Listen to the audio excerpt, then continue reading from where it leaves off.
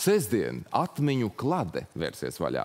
Ar īpašu koncertu programmu Latvijā uz to aicina grupa Bad Habits. Bet jau tagad, gatavojoties tai, viņiem ir iznācis jauns singls. Man dimantu nav ar saldcerīgu atskatu uz 90. Jā, dzirdēsim. Pavisam citās skaņās to, ko varbūt pazīstam. Labrīt! Labrīt! Labrīt! Labrīt. Šeit. Eh, Ar dziesmu arī iesāksim, varbūt cover versijas. Nezinu, tas nav jūsu jājam zirdziņš, vai tas ir tāds paralēlais zirdziņš, kā īsti, cik bieži jūs ar šo žanru sastopaties? Ar tieši ar šo cover kāda versiju-. Ar cover versiju ļoti reti mēs sastopamies, Lūk. bet tieši atmiņu klādi ir būvēta uz tā. Mhm. Tas nozīmē, Tas ir- ka koncerts ar specifiku tieši uz coveriem Jā, jā, jā, ar dziesmām, kas mūs ir pavadījušas visu cauri mūsu muzikālajām gaitām, kā tas mums viss Um, ir iesācies. Ar cik lielu nu, tādu pietāti pret oriģinālo um, izēju materiālu, kuram jūs taisat cover versiju, jūs strādājat? Jo skaidrs, ir Nu, tie gadījumi ir ļoti daudz un dažādi. Un, protams, ir arī gadījumi, kad cover versija izrādās pat uh, klausītājiem patīk daudz labāk nekā oriģināls. tā, tā dažreiz ir. To mēs arī esam dzirdējuši paši. Pa cover versijām, ko mēs uztaisām, bet ar pietātīti, jā, mēs. Mm, Pietāta ir ļoti liela, bet mēs esam nežēlīgi. Tā kā, tā kā Pret sevi vai pret dziesmu? jā, pret dziesmu, laikam, nu, tā var likties. Nu, tā kā ir, ir kaut kas, tā dziesma ir laba, mēs zinām, ka viņa ir laba, bet uh, spēlējam mēs viņu, un līdz ar to mēs viņu, mēs viņu izķidājam un skatāmies, ko, kas tur ir interesants lien ārā, ko, ko mēs varētu varbūt tās vai izcelt vai, vai kaut kā. Mēs nepadarām labāku, mēs vienkārši spēlējam to savā, savā veidā. Bet, Tas ļoti atbilst jūsu grupas nosaukumam. Bad habits vai violent habits, ja paņemtu nežēlīgu dziesmu Nē, izpētē. nekā vardarbīgi mūsos nav.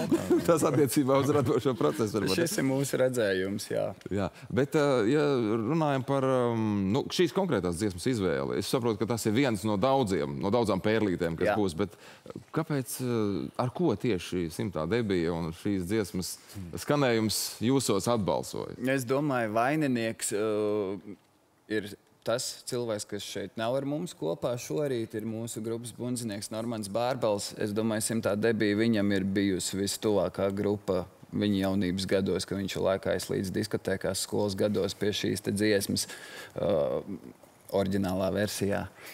Un, un, un, un, un viņš ir arī vienīgais, kas māk breikot no mums. Tā, mēs jau to daļu, to daļu ar nepacietību arī gaidām dzirdēt, bet vēl pavisam īsi par gaidāmo koncertūru. Skaidrs, ka ne jau uz vienu dziesmu tā balstās. Kam tad vēl cover versijas ir tapušas? Oi, mums ir uh, Ilmārs Dzēnis, mums ir Raimons Pauls, mums ir Imants Kalniņš, uh, Dakat? Dakota, Simtā debija. Saraksts Ļo, ir garš. saraksts ir garš, jā, tā lai nosauktu visu Aivars Zeltāns, kad man vairs nebūs 16. Un, un, un, un. Oh, Jā, šis- mēs visu šo te lipinam kopā Un vienā garā jūsu programmā. šajā skanējumā, vai ne? Jā, jā, viss Bet. Klau, es jau tagad, nu, nezinu, vai būs iespēja tur gan ir 16. septembris, oktobrī vēl trīs datumi, bet ja ne uz vienu 16. septembris jau ir tepat aiz sākums, stūra, jā. tāpēc, Bet pēc tam vēl 3 oktobra datumi, pēc Liepājas vēl, kas sako arī citur Latvijā, Madonā, Valmierā, Dobelē, ja tur netrāpa šo, man liekas, vērtīgo lietu neskar autortiesībām. Tagad jūs kaut kur iemūžināsiet arī, vai tas paliks tikai vienreizēji koncertā izspēlēts? Šīs, par to mēs vēl nedomājam. Mēs tagad koncentrējamies uz šiem te koncertiem. Nospēlēt koncerts un tad kārtīgi padomājiet. Bet uh, tagad gan mēs tiešām ar nepacietību gribam dzirdēt, kā tad skan man dimantu. No? Jā.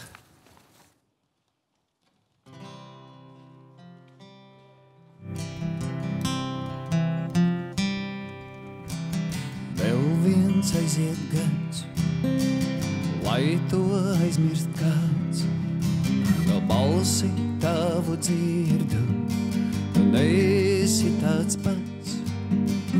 Griežās laimes rats, vienmēr pretīm kāds, vienmēr kāds nāks tuvāk klāt. Vēl tuvāk un stāstīt sāks, stāstīt sāks.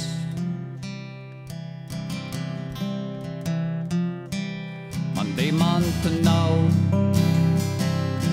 jūra vēl zila ir lai. Putniem ir balss, rozes vēl ceļu lai klāj. Man dimanta nav, bet mīlu vēl brīva ir lai. Kad dziedu es tai, lai pasaule skan,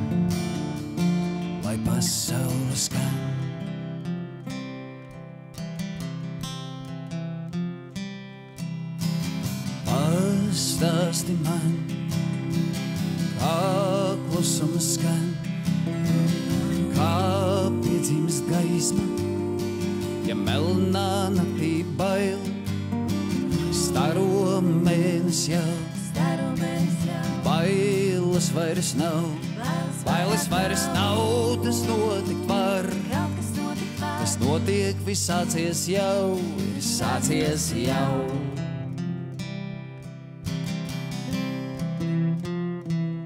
Man dimanta nav, jūra vēl zila hidlai, putniem ir balss, rozes vēl ceļu lai klāj. Man dimanta nav, bet mīla vēl brīva hidlai, kad dziedu es tai, lai pasaule skan. Man dimanta nav, bet jūra vēl zila hilai. Putniem ir balss, rozes vēl ceļu lai klāj. Man dimanta nav, bet mīla vēl brīva hilai. Kad dziedu es tai, lai pasaule skan, lai pasaule skan.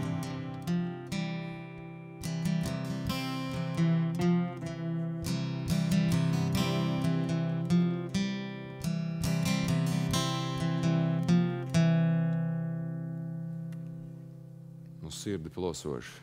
Vienreizēji skaisti. Paldies! Paldies grupā Bad Habits un tiešām Mārtiņš Balodis, Jānis Līde, kā arī backvokālistas Laima Miltiņa un Eliena Čampere ar Man Dimantu nav īpašo 2023. gada versiju, kas atmiņu kladē arī atskanēs grupas koncertā jau no šīs sestdienas. Tik aizkustinoši dziesma. Pasties, izrādās, ka var arī